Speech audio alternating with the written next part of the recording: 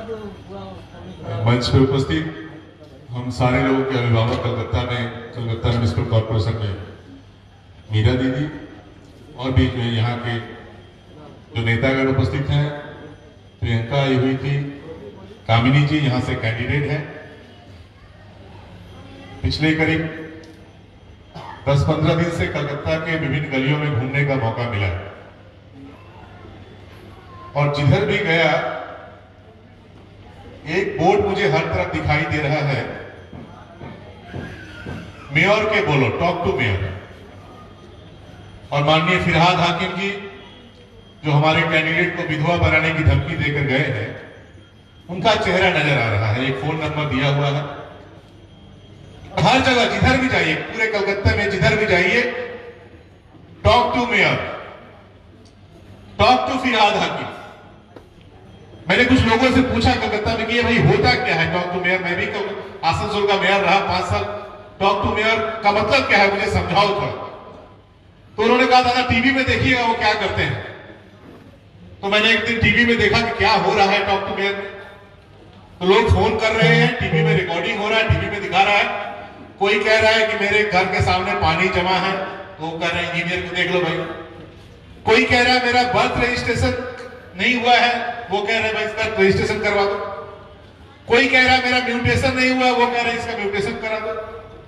तो मैंने अपने बंधु से पूछा कि, भाई, ये सारा काम तो काउंसलर्स करते हैं। किसी के सामने पानी जमा है, किसी का नाली नहीं बना है, कहीं रास्ता खराब है, कहीं बर्थ रजिस्ट्रेशन सर्टिफिकेट करना है, ये इसके लिए मेयर को बोलने की क्या ज़रूरत है तो ये सब कुछ यदि हम मेयर को बोलेंगे, पानी नहीं है तो मेयर को बोलो।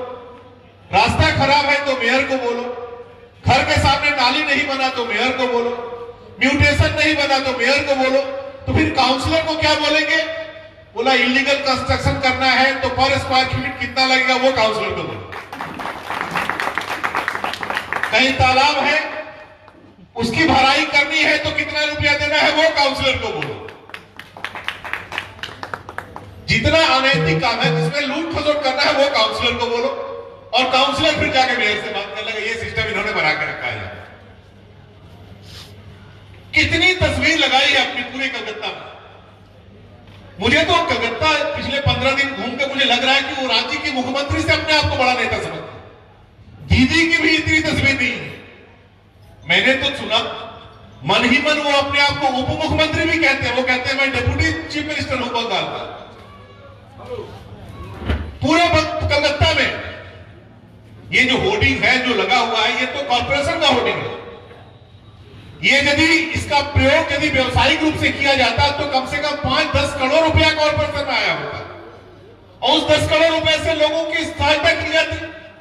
लेकिन ये पाँच, दस करोड़ रुपया नगर निगम का आपने अपने प्रचार के लिए लगा दिया। विवेकानंद जी की तस्वीर नहीं लगाई कहीं बोर्डिंग में। नेताजी की का फ़ोटो नहीं लगाया आपने। अपनी अभी दो दिन पहले हमारे सीट के जनरल रावत, वो शहीद हो गए। उनकी एक भी तस्वीर मैंने कलकत्ता में नहीं देखी। इन सारे लोगों से ज़्यादा महत्वपूर्ण आप हैं। आपका मुस्कुराता हुआ चेहरा टॉप टू गया हर पूरे कलकत्ता में। क्यों भाई? आपने जनरल रावत की तस्वीर क्यों नहीं लगाई?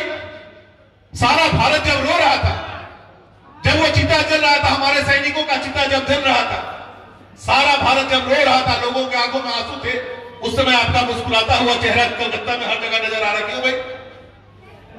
आपके मन में है क्या? और आप कामनी तिवारी जी को क्या कहते हैं कि आप उन्हें विधवा बना देंगे?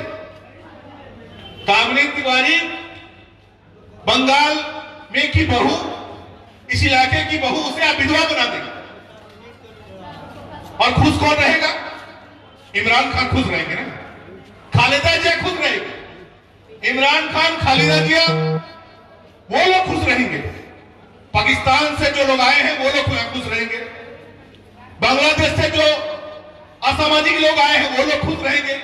और बिहार से, उत्तर प्रदेश से जो लोग 40 साल 50 साल से बंगाल की सेवा कर रहे हैं, बंगाल की मिट्टी को अपनी मिट्टी बना लिया, राजस्थान से जो लोग आकर यहाँ व्यवसाय कर रहे हैं, हरियाणा से 50 साल पहले से आकर जो लोग व्यवसाय कर रहे हैं उनकी पत्नी को आप कहते हैं विधवा बना देंगे।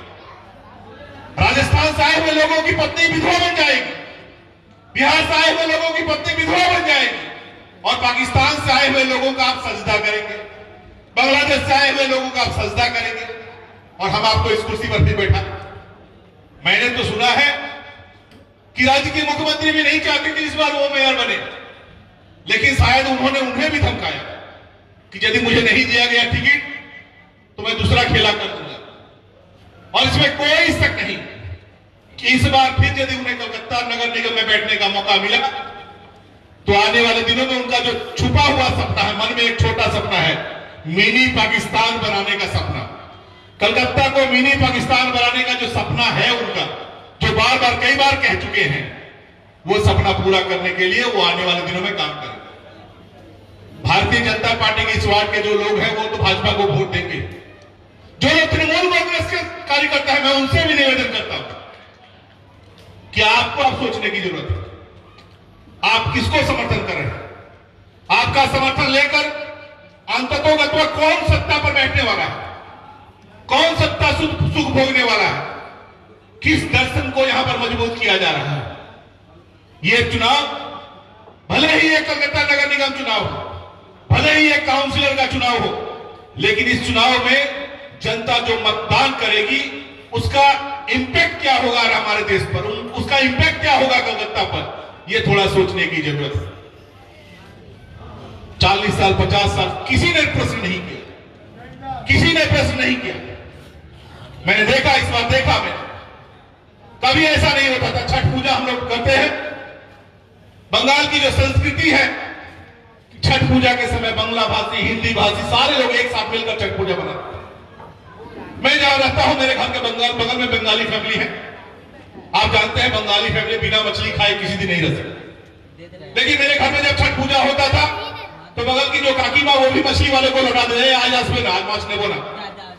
मैंने पूछा, काकी, मैं तुम्हारे घरे माछ माच नहीं ना तुम्हारे घरे छठ पूजा, आज के हमारे घरे माछ दूध में ये संस्कृति है बंगाल की। इस संस्कृति को आप बदल लेना चाहते हैं।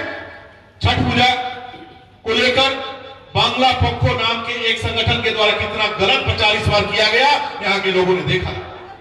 और अब तक आप तृणमूल कांग्रेस के, गुंडों को लेकर भाजपा के कार्यकर्ताओं के बारे में गलत शब्दों का प्रयोग कर रहे थे। लेकिन इस बार आपने भारतीय जनता पार्टी के साथ साथ छठ मैया से भी लड़ाई ले ली है। और हम भले क्षमा कर दें लेकिन छठ माह से लड़ने का परिणाम बंगाल के साथ साथ देश के बहुत से लोगों ने देखा है, आपको भी आने वाले दिनों में देखना पड़ेगा। मैंने देखा है, हम लोगों ने यह महसूस किया है कि छठ के घाट के दिन जब आप घाट से निकलते हैं तो हर भाषा भाषी लोग वहाँ खड़े रहते हैं, बंगला भाषी लोग भी खड़े रहते हैं और मांग कर ठेकुआ खाते हैं कि भाई, हमको भी ठेकुआ दो और खुद भी खाते हैं और उसके बाद बोलते गए भाई, घर भी ले जाने के लिए दो। उस संस्कृति को आप तोड़ना चाहते हैं? और ये संस्कृति बंगला भाषी, हिंदी भाषी, सारे लोगों की संस्कृति एक साथ रहने की संस्कृति आज से नहीं है, करीब चालीस, पचास, साठ सालों से है। आज़ादी के पहले से ये संस्कृति बंगाल के लोग एक साथ मिलकर रहते थे। पुरानी जितनी भी बंगला फ़िल्में आप देखिए उत्तम कुमार सुचित्रा सुचित्रा सेन की जो भी फ़िल्में देखी, कोई भी बंगला सिनेमा हो, उसमें आपको एक, दो हिंदी चरित्र ज़रूर मिलेंगे। उन्होंने तो कभी भेदभाव नहीं किया, बंगला भाषी, हिंदी भाषी में कभी भेदभाव नहीं किया। रविन्द्रनाथ टैगोर की काबली वाला काबली वाला जो कहानी है, रविंद्र टैगोर की, उसमें जो मिन्नी नाम की छोटी बच्ची है, वो काबली वाला को काकू काकू कह के ही बुलाती है, वो काबली वाला बाहर से आया था, दूसरे राज्य से, काबुल से हम आए थे। ये संस्कृति रही है बंगाल की। उस संस्कृति को इस बार, इस चुनाव में दो मई के बाद से बंगाल में समाप्त करने का प्रयास किया जा रहा है। कह दिया गया इस बार। एक और खतरनाक बात है हम लोगों ने कुछ दिन पहले सुनी। कि दूसरे राज्य से जो लोग आए हैं, यहाँ पर यदि नौकरी चाहिए तो आपको बंगला सीखना पड़ेगा। बांग्ला ना जानले चाकरी पावे ना। अच्छी बात है। हम भी बंगला सीखना चाहते हैं, लेकिन हम प्रश्न करते हैं इस सरकार से कि किसने कहा था तो क्लास फाइव से हम लोगों को पहले बंगला पढ़ना पड़ता था ना। फाइव से सिक्स में सेवन में एट में नाइन में टेन में हम लोग बंगला पढ़ते थे एक साथ। वो क्यों हटा दिया गया? जान बुरकर हमारे सिलेबस से बंगला को क्यों हटा दिया? हम तो बंगला सीखना चाहते हैं। हिंदी भाषी लोग यहाँ तो बंगला सीखना चाहते हैं। लेकिन केवल नौकरी के लिए नहीं, हम बंगला सीखना चाहते हैं क्योंकि हम रविंद्रनाथ को समझना चाहते हैं। हम बंगला सीखना चाहते हैं क्योंकि हम ऋषि बंकिम को समझना चाहते हैं। हम बंगला सीखना चाहते हैं क्योंकि हम शरद चंद्र चट्टोपाध्याय को समझना चाहते हैं। हम ऋषि अरविंदो को समझना चाहते हैं। और इसलिए हम आपका भीख लेने के लिए हम बंगला नहीं सीखना चाहते। ये बंग भूमि है और मैं एक और बात कहता हूँ। दूसरी भाषा में हम बात करते हैं इसीलिए आप हमें बंगाली नहीं कहेंगे ये नहीं हो सकता हमारा ये मानना है कि ये बंग भूमि हमारी भी है जितना आपका अधिकार है उतना हमारा भी अधिकार है। आप बंगला में बात करते हैं आप बंगला भाषी बंगाली हैं हम हिंदी में बात करते हैं हम हिंदी भाषी बंगाली हैं लेकिन बंगाल हमारा भी है। किसने आपको ये अधिकार दे दिया कि हमें बाहरी बता दें? किसने आपको यह अधिकार दिया? ये बहुत खतरनाक स्थिति है। बंगाल को कुछ लोगों को खुश करने के लिए, पाकिस्तान से लोग आए उनका स्वागत। बांग्लादेश से घुसपैठिए आए, उनका स्वागत है। लेकिन बिहार से, उत्तर प्रदेश से, मध्य प्रदेश से, राजस्थान से, हरियाणा से यदि लोग यहाँ आते हैं तो बाहर के लोग हैं। अजीब स्थिति है। इस देश के होकर भी हम पराये हो गए। और दूसरे देश के लोग आपके अपने हो गए, ये संस्कृति नहीं चल सकती। हमारा संविधान इसकी अनुमति नहीं देता। और इस सारी चीज़ों के खिलाफ आपको आवाज़ उठानी है। आने वाले दिनों में केवल एक ये नगर निगम का चुनाव नहीं है। केवल एक काउंसिलर का चुनाव नहीं है। इस चुनाव के माध्यम से आपको इस बात का निर्णय लेना है कि जो संस्कृति, ये 40 50 60 साल की जो हमारी धरोहर है, एक साथ सारे धर्म के लोग, सारे भाषा के साथ लोग बंगाल में मिलकर रहते थे। उसको जो तोड़ने का प्रयास किया जा रहा है, उसे आप बचा पाएँगे कि नहीं? आज कहा जा रहा है कि आप दूसरी भाषा जानते हैं, दूसरी भाषा में बात करते हैं, इसलिए आपको सरकारी नौकरी नहीं मिलेगी। आज यदि आप चुप रहे तो कल कहा जाएगा, आप दूसरी भाषा में बात करते हैं, इसलिए आप दुकान भी यहाँ नहीं लगा सकते। कम पैसा में दे के चले जाइए। तीसरे दिन कहा जाएगा, आप दूसरी भाषा में बात करते हैं, इसलिए मार्केट में आप नहीं जा सकते। चौथे दिन कहा जाएगा, आप दूसरी भाषा में बात करते हैं, इसलिए आपको बंगाल में रहने का ही अधिकार नहीं है। तो पहले ही दिन, पहले ही दिन इसके खिलाफ में आपको आवाज़ उठाना ज़रूरी है। आज यदि आपने प्रतिवाद नहीं किया, आज यदि आप सोचते रहे कि अरे कामिनी जी खड़ी हुई है, हमारा क्या लेना देना? ऐसा नहीं है। आज कामिनी जी के माध्यम से ही आपको प्रकट होकर मजबूती के साथ खड़ा होना। और जो गलत संस्कृति बंगाल में लाई जा रही है बंगाल की जो मूल संस्कृति है, उसके साथ जो खिलवाड़ किया जा रहा है, उसके खिलाफ आज सजग प्रहरी के रूप में आपको अपनी आवाज़ उठानी है और यह अधिकार हमारा संविधान हमें देता है। और ऐसे एक दो लोग जो आकर यहाँ पर अमर्यादित बातें कह के चले जाते हैं, जो कह के चले जाते हैं कि कामनी तिवारी को सादा साड़ी पहनकर घूमना पड़ेगा। मैं आपको कहता हूँ, बॉबीदा, मैं आपसे कहना चाहता हूँ का एक कामनी तिवारी का। ज़रूरत पड़ी तो सैकड़ों, हज़ारों महिलाएँ सादा साड़ी पहनने के लिए तैयार है, लेकिन कलकत्ता को मिनी पाकिस्तान हम नहीं बनने देंगे, बांग्लादेश नहीं बनने देंगे, पाकिस्तान नहीं बनने कलकत्ता के बंगाल की संस्कृति को जो आप खत्म करने का प्रयास कर रहे हैं, वो हम बर्दाश्त नहीं करेंगे। भाषा के नाम पर कलकत्ता को बांटने का जो प्रयास कर रहे हैं, वो हम बर्दाश्त नहीं करेंगे। चाहे इसके लिए किसी, कितने भी सादा साड़ी पहनना चाहिए पहनना अभी पहना है हम लोगों हमारी माताओं ने तो पहना है। हमारी माताएँ पति का खून हो गया। उसके बाद भी बेटे को आगे कर देती थी अंग्रेज़ों से लड़ने के लिए। कि हाँ मेरी माँ किसी दूर चली गई, लेकिन मेरे आंचल का दूध मैंने जिसे बच्चे को पिलाया है, अभी ये मेरे घर में है। ये भी जाकर अंग्रेज़ों से लड़ेगा। ये ऐसी बीर थी हमारी माताएँ ऐसी बीर थी हमारी महिलाएँ। उन महिलाओं को आप विधवा होने का डर दिखाएँ, ये आपको शोभा नहीं देता। मुझे उम्मीद है कि आने वाले दिनों में आप अपने अंदर सुधार लाएँगे। क्योंकि और भी बहुत सी बातें कहनी थी, लेकिन इसके बाद पार्टी का आदेश एक दूसरे वार्ड में भी जाना है।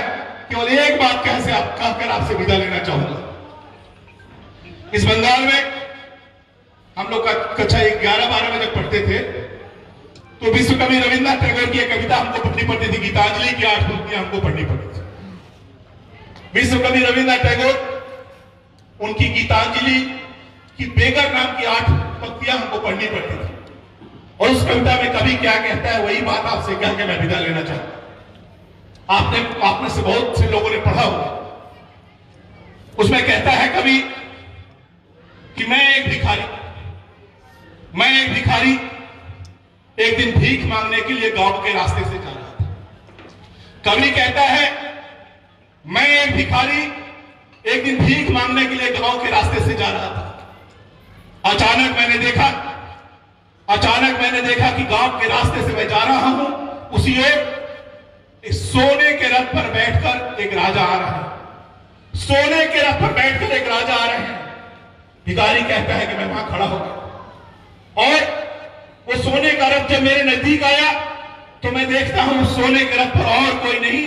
सारे राजाओं के राजा, सारे देवताओं के देवता स्वयं भगवान बैठे हुए भिखारी कहता है कि सोने के रथ पर स्वयं भगवान आ गए।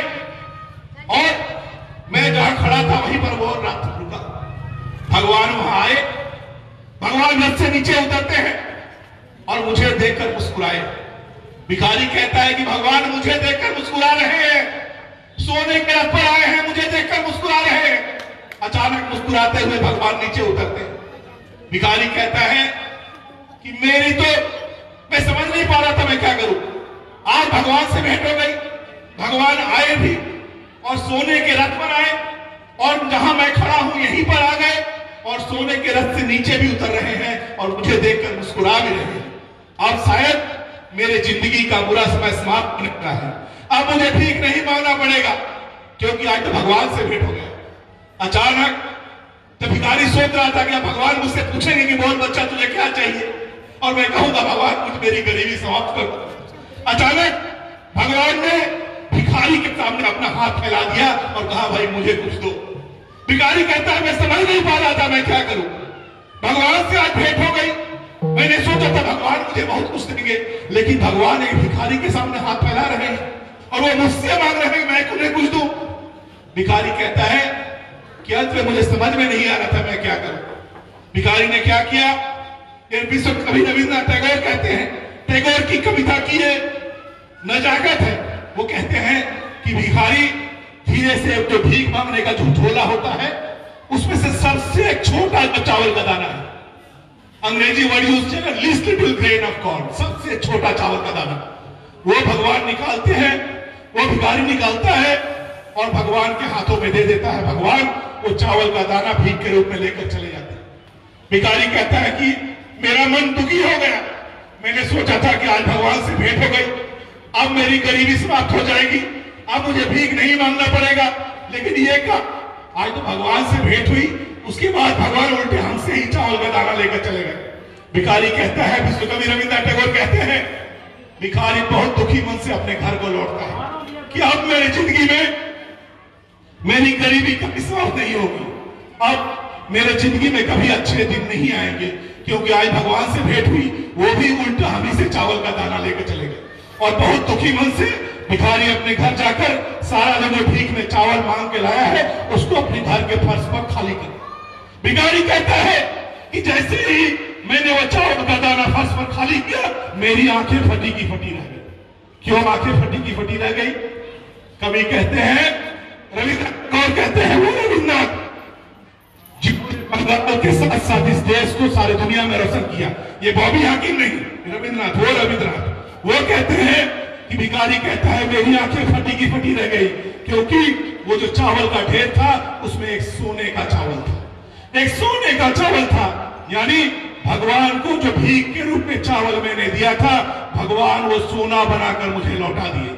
भिखारी कहता है कि मैं रो रहा था, मैं रो रहा था कि मेरा, मैं इतना, मेरा हृदय बड़ा क्यों नहीं हुआ? यदि मेरा हृदय बड़ा होता, सारे झोले का चावल मैं भगवान को दे दिया होता तो एक झोला सोना आज मुझे लौटता। मैं ये बातें आपसे इसलिए कह रहा हूँ कि भारतीय जनता पार्टी ईश्वर में विश्वास करती है। और ईश्वर में, ईश्वर की बानी लेकर, ईश्वर की सोच को लेकर वो आपके पास आई है। यदि समर्थन करना है तो कंजूसी मत कीजिए। एक चावल का दाना मत दीजिए। देना है तो झोला ढाल के दे दीजिए।